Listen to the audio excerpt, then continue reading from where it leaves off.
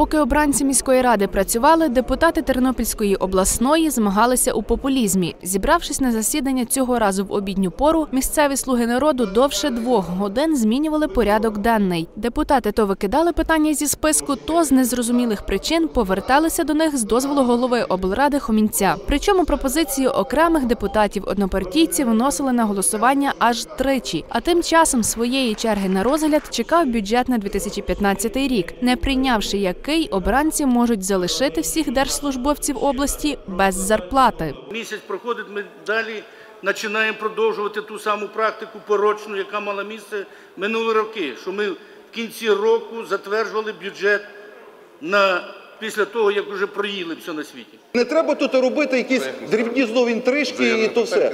То фракція голосує, то не голосує. Давайте вже будемо трохи серйознішими. Ці ігри політичні в сесійній залі вони до господарки не повинні мати ніякого відношення.